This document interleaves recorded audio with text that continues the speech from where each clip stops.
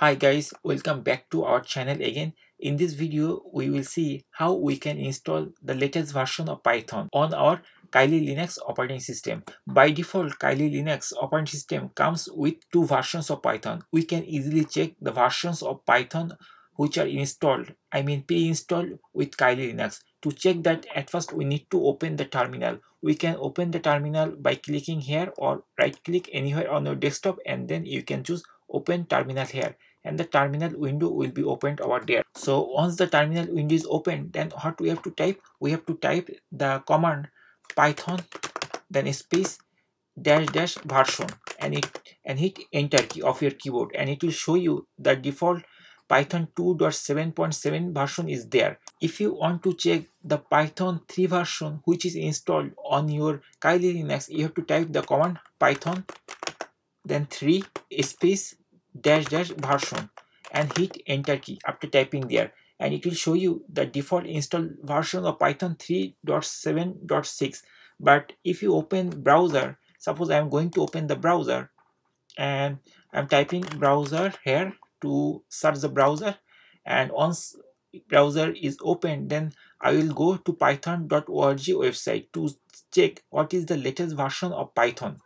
So once the browser is open just type uh, python.org in the address bar and hit enter key and it will go to the official website of Python. And just click the download links. And once you click the download links you will see the latest version of Python is 3.8.2 okay and if you scroll you'll see that 3.8 okay and if you want to check the other versions like 2 uh, version 2 of python you will see python 2.7.18 okay so uh, if we check that this version of latest version 3.8 uh, is not similar to our terminal window right? If we minimize this browser then we'll see that it is 3.7.6 okay but right now we have 3.8 so how we can update or install the latest version of python? It is very simple and easy. To update or install the latest version of python what we have to do we have to type the command sudo then space apt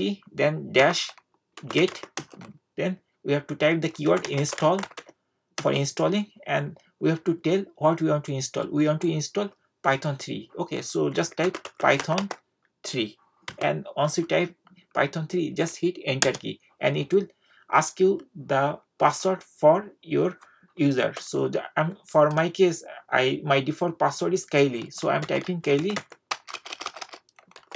but if your password is different just type that one okay and then hit enter key and it will start installation. At first it will download and after that it will try to install. And it is asking uh, do you want to continue? Just type yes because we want to install or update. Uh, once you type yes then it will download everything and it will complete the installation of python 3 it will take some time um, like couple of minutes maximum and then after that it will give you the confirmation that it is installed successfully. When the python installation will be completed at that time if you try to execute the same command like python 3 space dash dash version in the terminal prompt then again it will show you the latest version of python. Because we already installed that's why it will show at that time the latest version of python is 3.8 dot something. So once the installation is successful then if you type the command uh, python 3 then space dash dash version and then hit enter key and it will show you that uh, updated version of python. Previously it was 3.7 something. Right now it is 3.8.2 which is the latest version of python.